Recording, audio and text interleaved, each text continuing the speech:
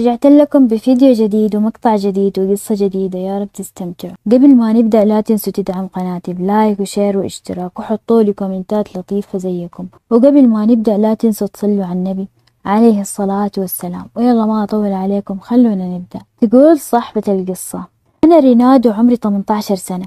أنا البنت الثانية لأهلي. أنا كنت أدرس في الثانوي وأختي كانت في الجامعة. أختي اسمها مرام. أنا وأختي ما كنا نشبه بعض أبدا. لا في الشكل ولا في الطبع ولا بأي شيء. أختي كانت مرة رقيقة ولطيفة وملامحها ناعمة. وأنا عكسها تماما. كانت بشرتي حنطية وملامحي حادة. ما كنت أحب الملابس الملونة والميك أب وهالأشياء. كان كل اللي يشوفنا يقول مستحيل إنكم أخوات. كيف أخوات وما تشبهون بعض كذا؟ أختي تضحك وتقول لو هذه ريناد الله يهديها وتصير زي البنات بس. وأنا أعطيها ضحكة وأقول لها أنا طبيعية أنت اللي فيك أنوثة زيادة. وش أسوي يعني؟ المهم قصتنا بدأت بوقت خطبة واحدة من صديقات أختي. أختي كانت لازم تروح للحفلة ولما راحت الحفلة زميلها في الجامعة حبها كان يتقرب منها في الجامعة وكذا وصاروا أصحاب. للعلم إحنا في دولة عربية يعني جامعتنا اختلاط. بعدها دخلوا في علاقة حب وكان حبهم صادق وآدمي كانت نيته سليمة. قال لها بعد الجامعة راح أجي وأخطبك ونتزوج طبعا أختي صارحت أهلي بكل شيء قالت لأمي وعلمتها كل شيء. وأمي ما منعتها تكلمه وتخرج معاه عشان يتعرفوا مع بعض يعني كأنها فترة خطوبة وكذا. لكن بشرط إنهم ما يخرجون لوحدهم إلا إني أكون معاهم. أنا كنت أقول أنا وش دخلني عشان أنجبر أجلس بين اثنين طول الوقت جالسين يتغزلون ببعض. أختي كانت تقرصني وتقول اسكتي لا تفضحيني. الحين أمي ما تسمح لي أروح. وأنا كنت أسكت عشان أختي لأن قلبي طيب. المهم رحت مع أختي مرام ويوسف وجلسنا في كافيه. وكان هذه أول مرة نجلس أنا ويوسف مع بعض. وقال كيف كذا معقول أنتوا أخوات؟ قلت له أيوة بس مرام من كوكب زمردة وأنا كوكب أكشن. أضحك وقال حلو ودمك خفيف بس أنا فهمت عليه يقصد إني أقوم من الطاولة وما أثقل عليهم. قلت لأختي أنا طالعة شوية أتكلم في الجوال. قالت تمام. طلعت من الكافيه وأنا نازلة من الدرج إلا أصدم بشخص وهو فورا قال آسف واعتذر. قلت له وش فيك؟ ما تشوف قدامك؟ قال قلنا لك نعتذر. بعدين مو أنا اللي غلطت الغلط غلطتك. وتهاوشنا عند الباب وعليت أصواتنا. إلا يجي يوسف يركض ويقول إيش في إيش في؟ وش اللي صاير هنا؟ وش اللي صاير يا خالد؟ قال له لا ما في شيء بس اتصدمت أنا وهذه المجنونة وعلقت في لسانها. قلت له إيش قصدك أنا المجنونة؟ ورجعنا تهاوشنا من جديد. إلا يوسف يقول لحظة لحظة ريناد. ترى هذا أخوي. وخالد هذه ريناد أخت مرام.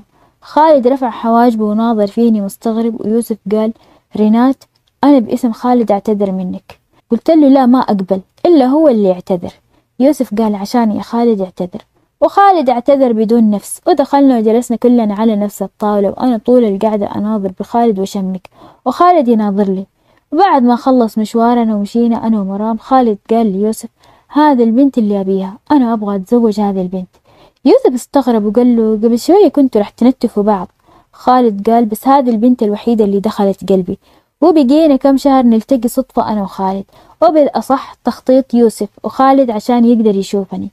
أنا ما كنت طايقته. حرفيا وأحيانا أعتذر على الطلعات عشان ما أشوفه. بعد ما خلصوا الجامعة جاء يوسف عشان يطلب مرام. وجلسنا كلنا مع بعض في الصالة والكل يحسب إنه يوسف جاي يطلب مرام. بس الصدمة إنهم جايين يطلبوني أنا. وأهلي ومرام انصدموا. لما أهل يوسف قالوا إنهم جايين يطلبون ريناد أبوي قال لهم ما فهمت. إلا بسرعة هم يصححون كلامهم الحمد لله. وقالوا إنهم جايين يطلبون ريناد لخالد قبل ما يطلبون مرام ليوسف. وشرطوا إنهم يأخذون البنتين أو ما يأخذون ولا واحدة أنا ضحكت وقلت لهم تمزحون صح؟ إيش هي لعبة أولاد يا ناخذ اثنين أو ولا واحدة؟ أهلي كانوا مقهورين من السالفة بس سكتوا عشان خاطر مرام. مرام المسكينة تناظر لي وعيونها مليانة دموع. واضح إنها جالسة تترجاني في قلبها عشان أوافق. المهم أبوي قال لهم نفكر ونرد لكم خبر وراحوا من عندنا. جلسوا الكل يقنعوا فيني إني أوافق وخالد شخص طيب ويحبك ومدري إيش. ومرام تبكي تقول لي أرجوك يا ريناد مستقبلي متعلق فيك. بقيت أسبوع أفكر وناظر لأختي اللي تكسر القلب. وبالأخير انجبرت إني أوافق عشانها لأنها كانت تموت فيه وما تقدر تعيش بدونه. تمت خطوبتنا أنا وأختي في نفس اليوم وهي كانت طايرة فرح وأنا حزينة والكل يحسب إنه إحنا كذا يعني مختلفين. المهم بعد شهر تقريبا تم زواجنا وانتقلنا نعيش في شقتين فوق بعض. أنا وخالد في الشقة اللي فوق ومرام ويوسف في الشقة اللي تحت وكل واحدة فينا دخلت لبيتها. أختي مرام وزوجها كانوا أكثر اثنين متفاهمين شفتهم في حياتي. أنا وخالد عكسهم تماما. كنا دايم نتهاوش. كانوا مرام ويوسف كل ما سمعوا صوت فوقهم يجون يركضون لعندنا لأن عارفين إنه إحنا متهاوشين ويجون يصلحون الأمور بيننا. يوسف ياخذ خالد على طرف واختي تاخذني لطرف وتصير تقنعني إنه خالد يحبني ويموت فيني وما يصير نتهاوش وكذا. وإن إحنا للحين متزوجين ومدري إيش. أنا كنت أحاول يعني مو إني ما أحاول بس ما كنت أحبه. إيش أسوي؟ مع إني أعرف إنه هو يحبني ويموت فيني بس هو كان عنيد وأعند مني. وإذا أنا وهو تهاوشنا ما في أحد فينا يتنازل للثاني. بقينا كده سنة كاملة ألين خالد سوى حركة وقلب كل الأمور. مرة كنت نايمة وصحيت وما لقيت خالد جنبي وطلعت أشوف وينه إلا أشوفه جالس يتكلم على الجوال بصوت واطي. لما شافني أتوتر وقفل الخط على طول.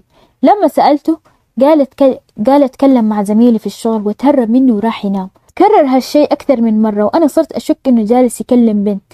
وكنت راح أنجن من التفكير طول اليوم وفتشت كل أغراضه وملابسه وما لقيت شي وقررت أفتش جواله. ولما رجع من دوامه أخذت جواله بدون ما يدري ورحت للمطبخ عشان أفتحه. بس كشفني وجاء سحبه من يدي وقال ممنوع تفتح جوالي. أنا قمت أبكي وتأكدت إنه جالس يكلم بنات من وراي. قررت إني أراقبه عشان أكشفه. وفي الليل لما نمنا سويت حالي إني نمت وانتظرته عشان يقوم يطلع من الغرفة.